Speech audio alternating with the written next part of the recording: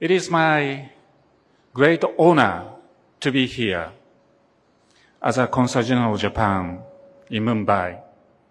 And on behalf of the government of Japan, I'd like to extend my heartfelt congratulations to uh, Mr. Fadnavis for receiving this wonderful honorary degree.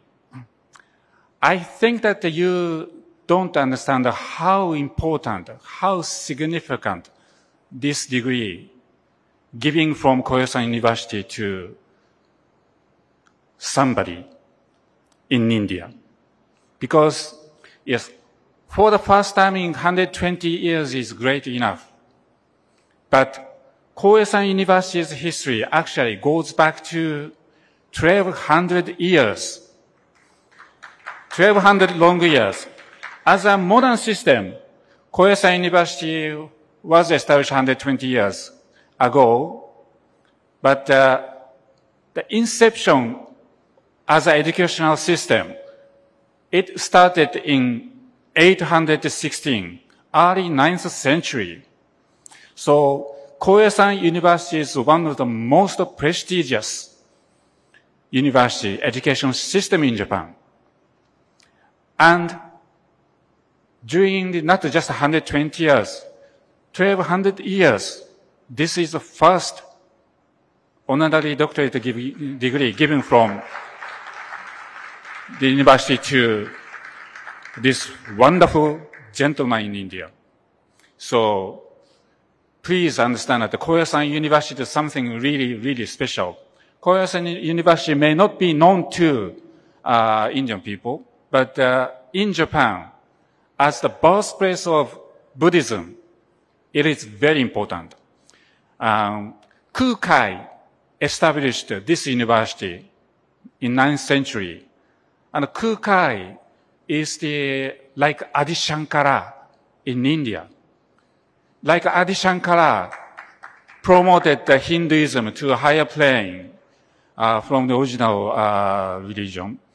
Like Kukai, Kukai also, Buddhism was introduced from India to Japan in the middle of uh, uh, fifth, uh, sixth century, but 200 years after, Kukai elevated Buddhism into the national religion.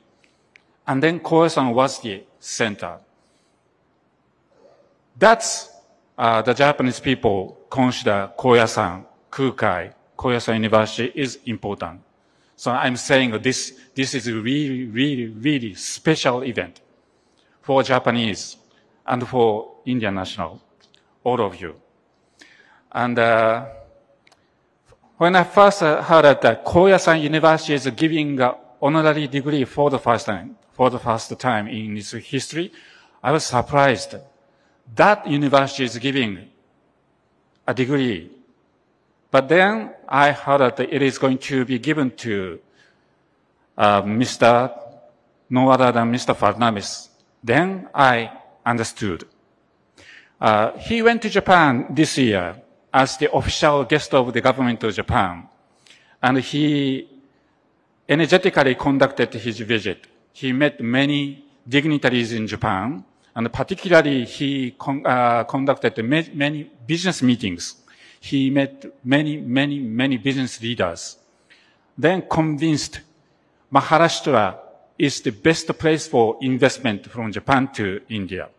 And based on his such activities, now, the Japanese company considers, consider many Japanese companies consider that in, in, uh, Maharashtra is the best investment target in India. Thanks to his achievement. So, uh, he, he, was an excellent leader. He's an excellent leader from Maharashtra for business. But not just as a business leader and a statement, state, uh, politicians, but he's wonderful human being. During the process of uh, organizing this, uh, his visit to Japan, I had occasion to see him many times and then discussed about his visit. And then I was so impressed by his uh, human quality. He's really a wonderful human being. And that is why, you know, uh, this uh, doctorate degree from Koyasan University is not for, you know, scientific achievements, Uh, but uh, this is uh, given only for the ground of human humanity. So Koyasan University uh, recognized him as the most distinguished human being in India, installing peace and prosperity in, in, in India, particularly in Maharashtra. For that, once again, on behalf of government of Japan, and as a person I myself, extend my heartfelt congratulations to Mr. Fadnavis. Thank you very much.